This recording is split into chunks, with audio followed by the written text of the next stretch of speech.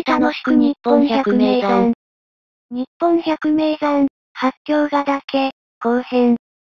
皆さん、こんにちは、ゆっくりレ夢ムです。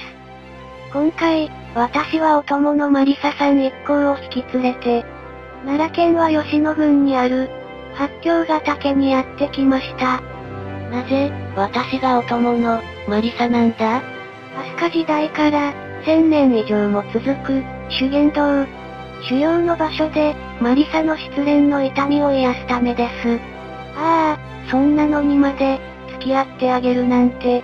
私レイムさんは、なんて素敵な人なんでしょう。わけのわからないことを長々と。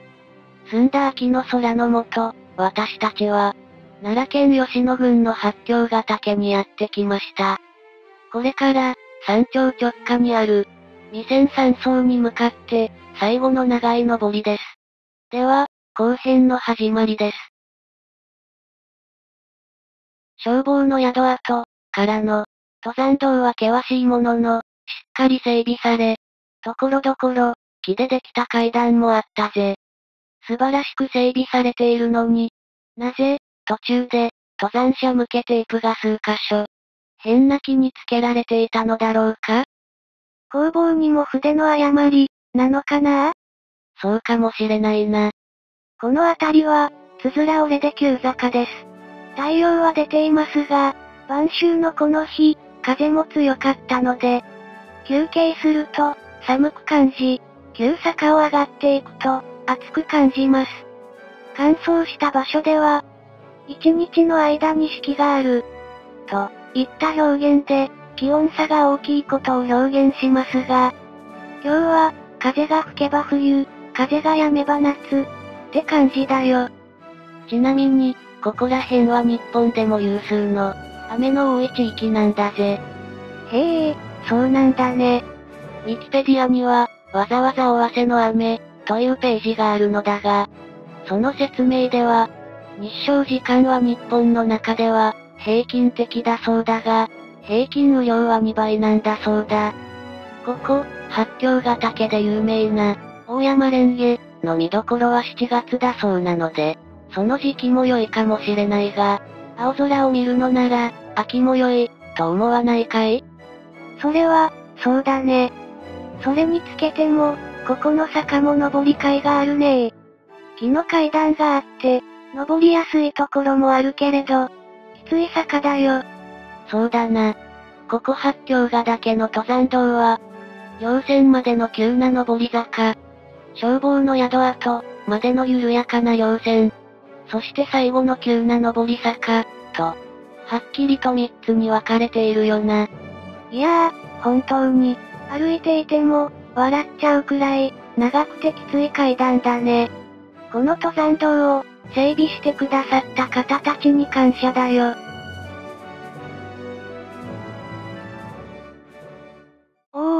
だいぶ上がってきたね。行者間だけ、そして大台ヶ原方面が、よく見えているね。風が強いけど、よく晴れているから、すごい眺めになったねそうだよな。東京と、九州や沖縄を結ぶ飛行機に乗ると、上空から、この辺りを見ているが、やっぱり自分の足で、上がってきてみる景色は格別だな。おや、朝露が凍っているぜ。やっぱり朝晩は寒いんだな。この日は、葉の落ちた木の向こうに、大台ヶ原方面がよく見えていたんだぜ。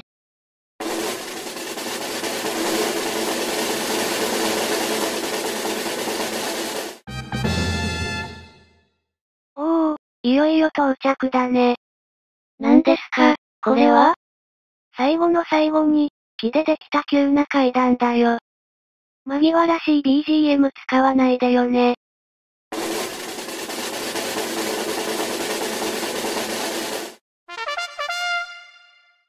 ああ、今度は大丈夫だね。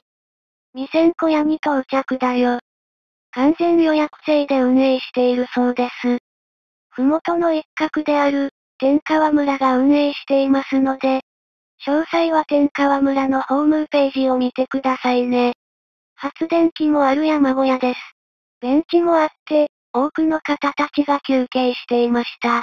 先ほど、朝露が霜になっていましたが、日向のベンチはポカポカです。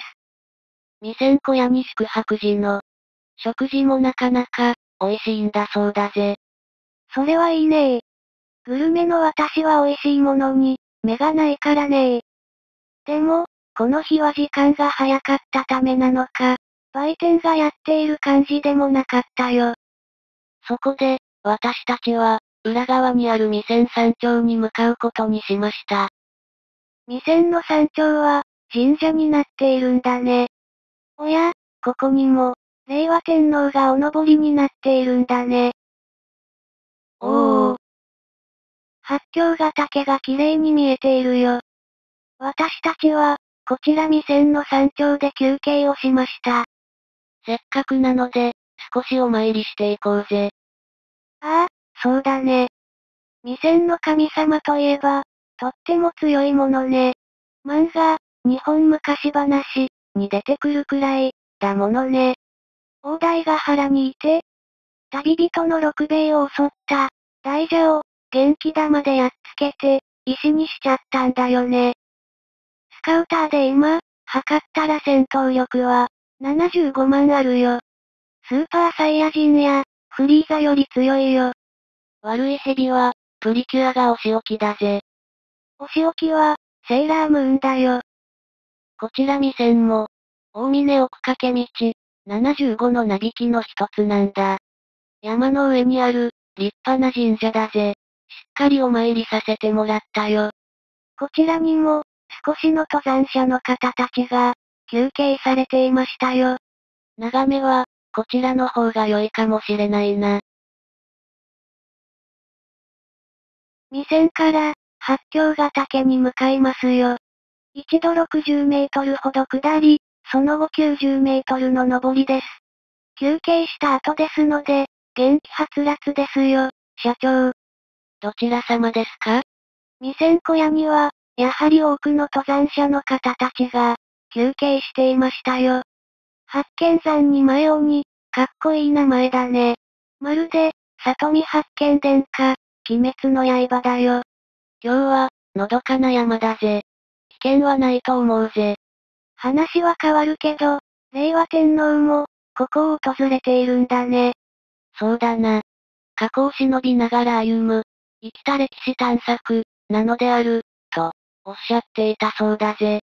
確かに、奈良や京都から近くて、歴史と信仰の山だものねさて、未線と八境ヶ岳の間は原生林。そして、梅雨時に咲く、大山レンゲの、群生があるんだそうだぜ。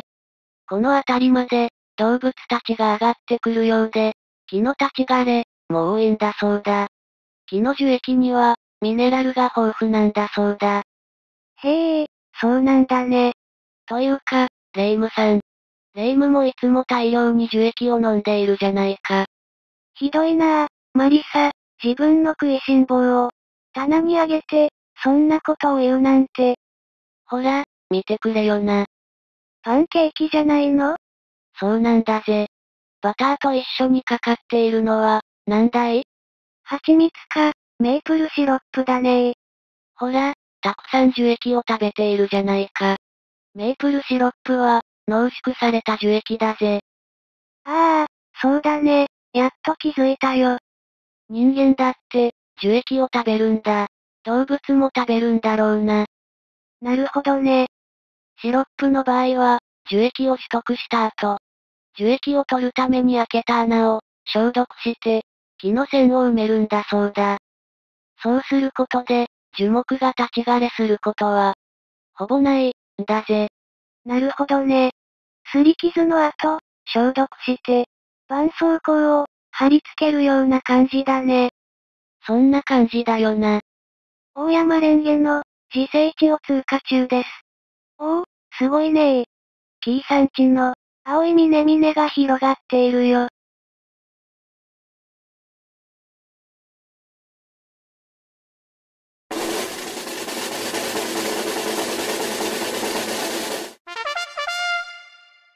山頂に到着だよ。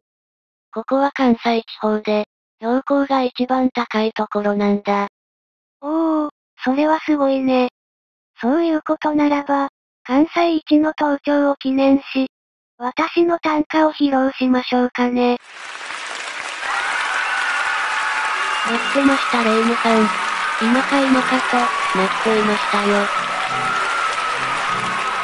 八軒の王、枯葉が尾根を踏み分けて視界を満たす青き峰峰八軒の王、枯葉が尾根を踏み分けて視界を満たす青き峰峰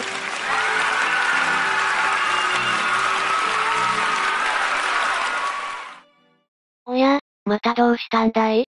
ここは一応、吉野の山で、吉野といえば、静か御前が、義経と別れた場所だよね。そうだな。そういう風になっているな。では、古今和歌集から、静か御前が取り入れた、と言われている、短歌も歌いましょう。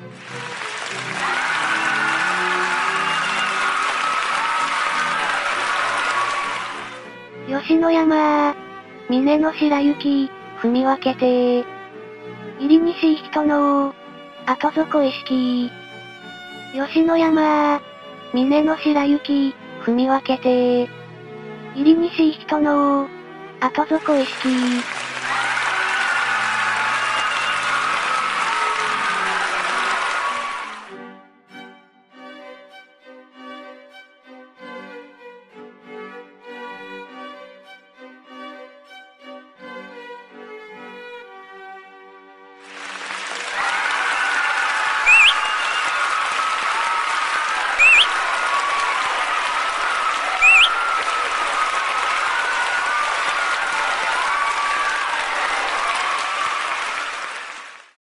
悲しい恋の歌だな。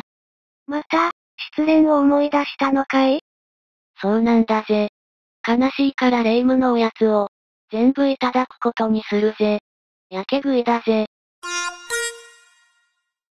さて、山頂にも、多くの方たちがいらっしゃいましたが、風が強くて、少し寒いので、撮影が終わって景色を眺めたら、ポカポカ陽気の、未線や未線小山で戻って、休憩する方たちが多かったな。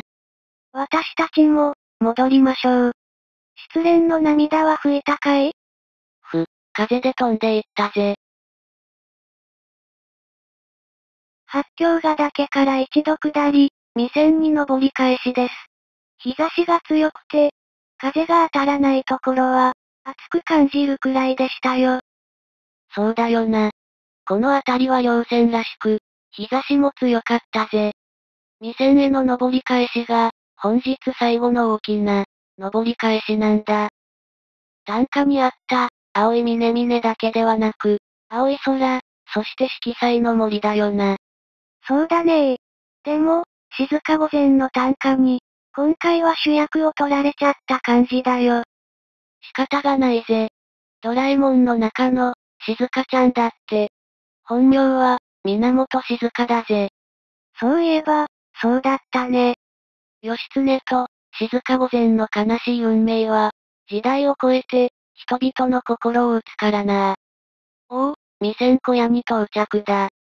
未線小屋では、相変わらず多くの方たちが、休憩していました。風が吹かない場所なら、今日は本当に、気持ちの良い、一日だよねそうだよな。未線から、行者帰りトンネルまでの、急な坂は、登山用のストックが非常に役に立ちそうでした。なお、この日はツアー登山の方たちも、たくさんいらっしゃいましたね。この青空なら、未線では、夕焼け、星空、日の出と、昼間も夜も楽しめて、まるで、大阪のキャラメルみたいな感じだね。その心は？グリコのアーモンドキャラメルのように、一度でたくさん、楽しめるじゃない。ああ、確かにそうだな。消防の宿跡、付近では、登山者の方に大きな声で声掛けして、正しい道はこちらだよ、とアピールしておきました。無事に降りてきた後、九州から百名山制覇を、目指しているおじさんが、駐車場でタクシーを待ってました。